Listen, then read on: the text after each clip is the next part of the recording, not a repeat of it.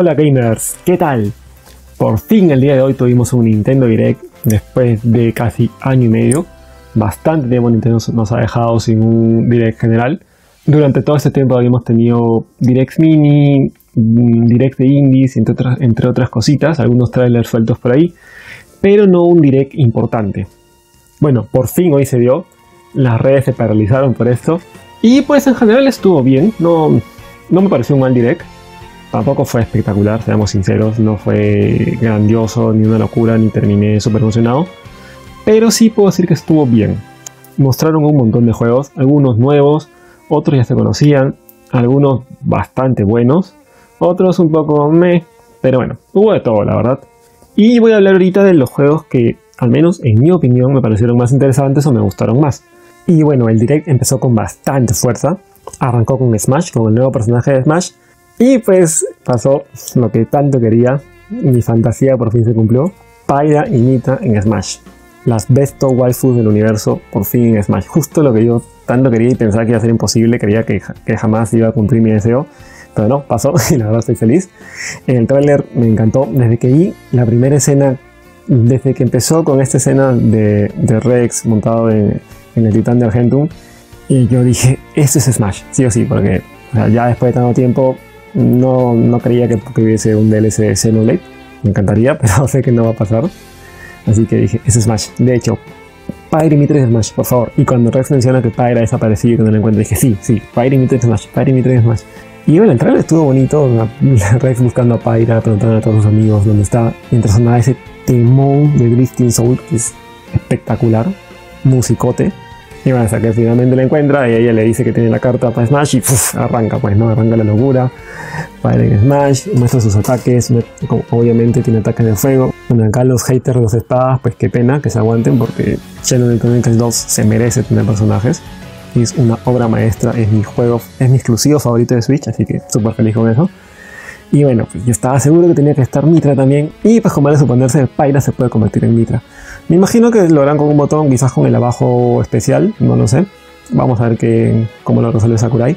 Pero dicen que pueden cambiar en cualquier momento. No es como este cambio que hacían en, Smash Bros. Brawl, por ejemplo, entre, entre Samus y Samus Zero, que, que, era después del Final Smash. No, aquí sí parece que los pueden hacer en cualquier momento y eso está bien, es como debe ser. Eh, tienen varios movimientos de, de Xenoblade Chronicles 2. Ahí se, ve que, ahí se puede ver que Mitra incluso puede hacer su movimiento de premonición para esquivar los ataques. Está genial. Ve que van a tener un set de movimientos bueno. Bueno, Byra obviamente ataca con fuego, Mitra ataca con luz. Y por lo que he visto, ambas tienen un Final Smash, que me parece que es el especial 3 de Xenoblade Chronicles 2. Así que está excelente. Muy feliz con ese DLC. Es muy probable que me lo compren. No, no me he comprado ese pase de temporada pero ya con Sephiroth y con Pyre Mitra, pues, pues ya estamos, ¿no? Ya con eso compensa a los otros dos que no me gustaban.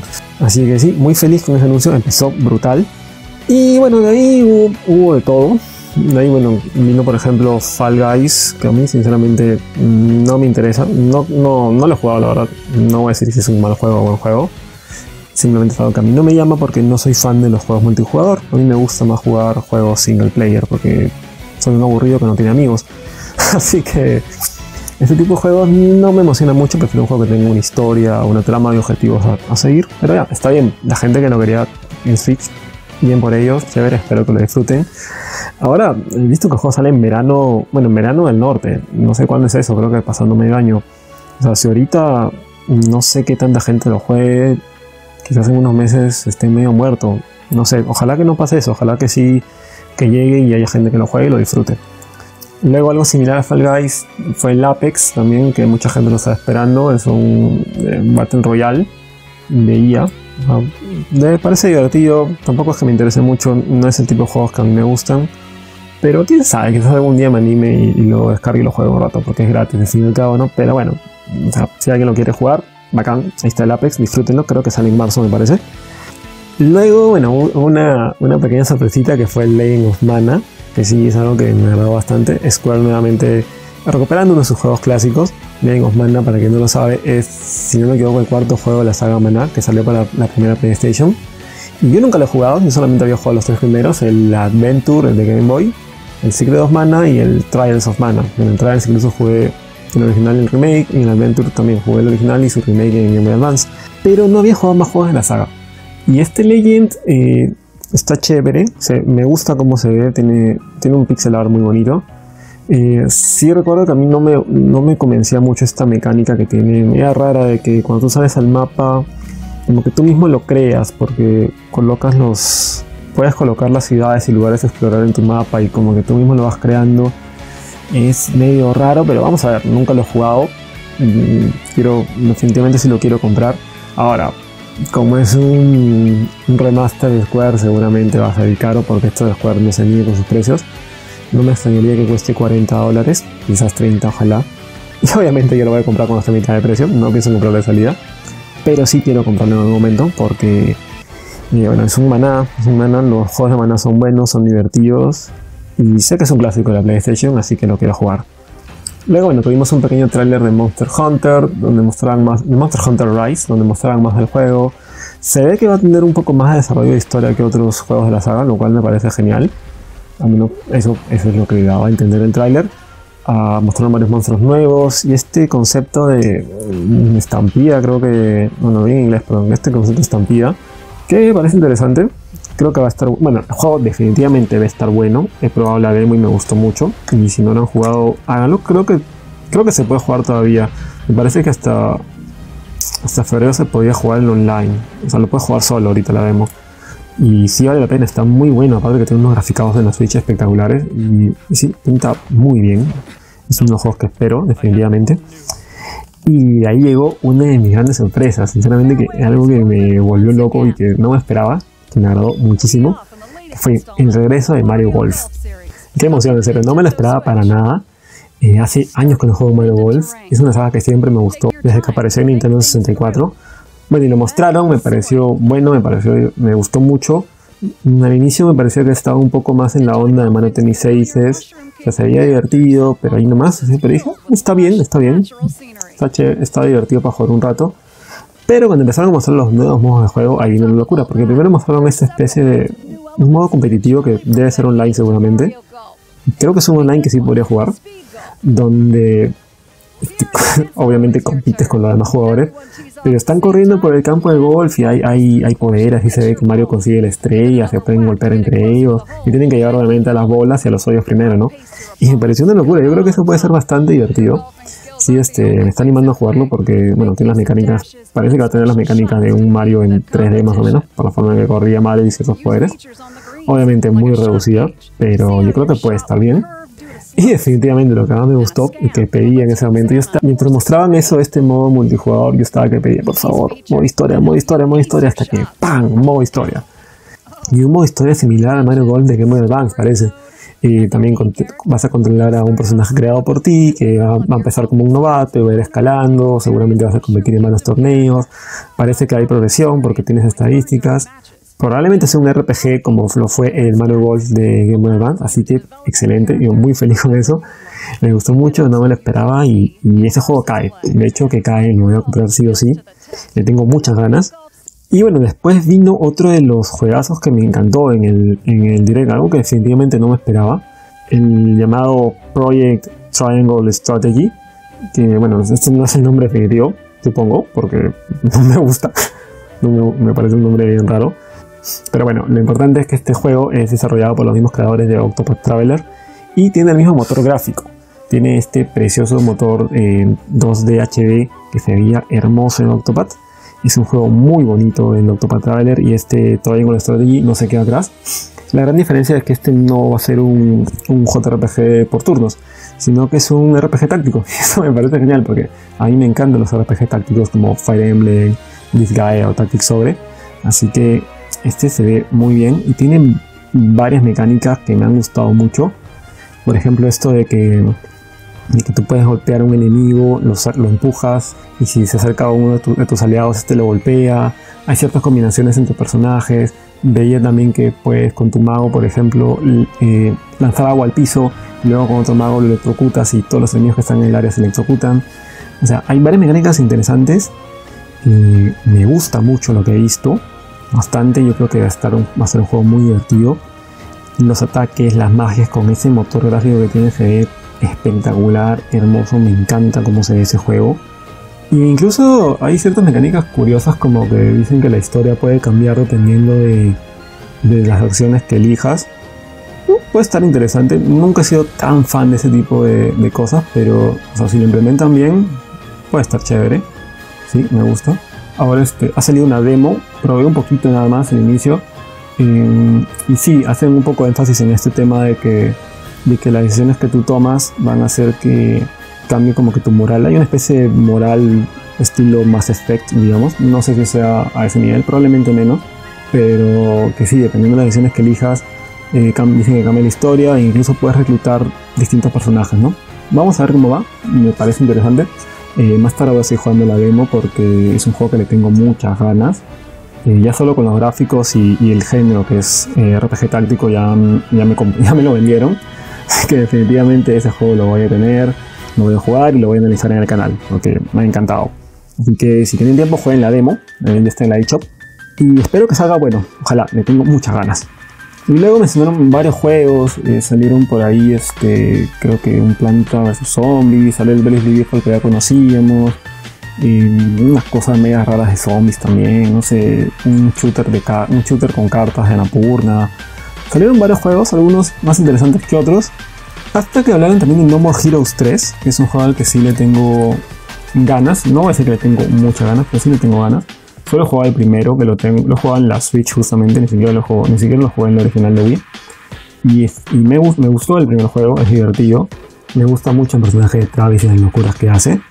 Y bueno, el, 3 pinta bien, obviamente se ve gráficamente mucho mejor que el primero. Y también que el segundo, supongo. Bueno, la historia va a meter ahora alienígenas. No sé cómo saldrá eso. Seguramente va a ser una locura como todo juego de Suda 51. Obviamente no esperen eh, ninguna historia seria ni con sentido, va a ser una total locura.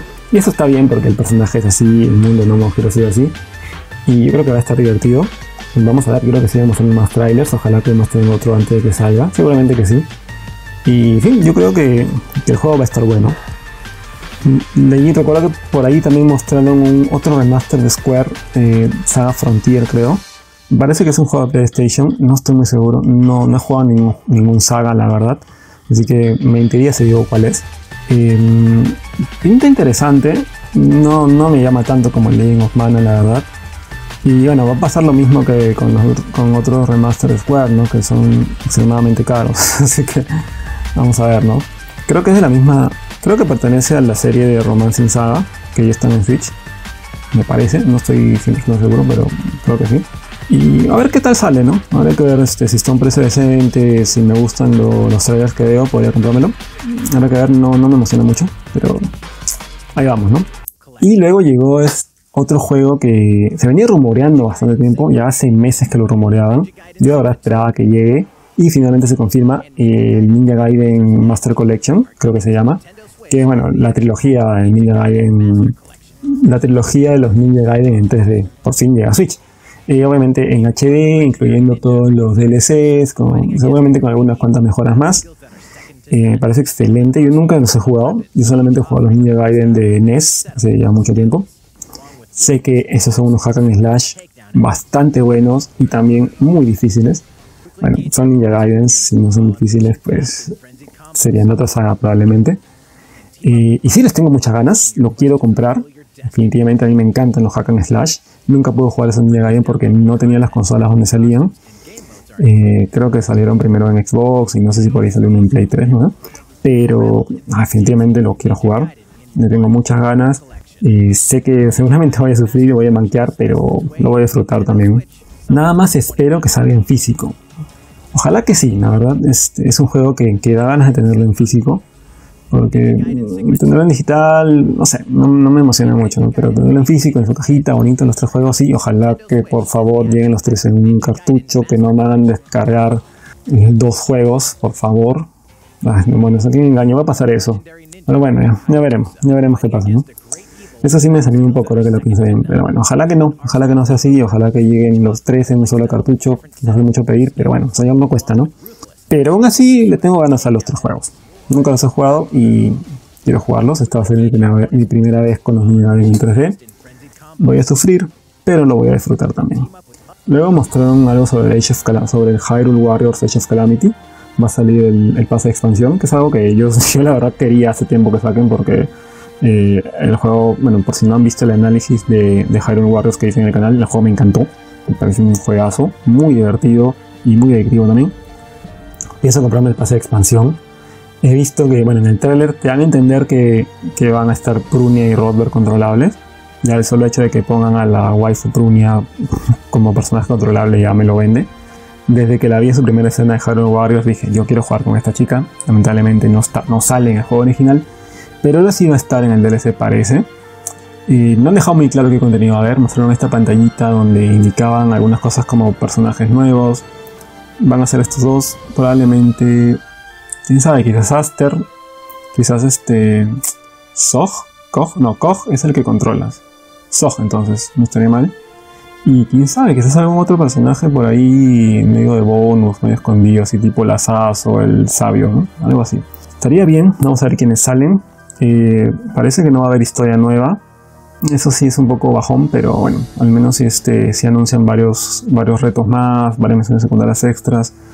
A ver, pues quiero ver cómo lo expanden. No me lo pienso comprar hasta, hasta que salga la primera. Hasta que salga la primera parte.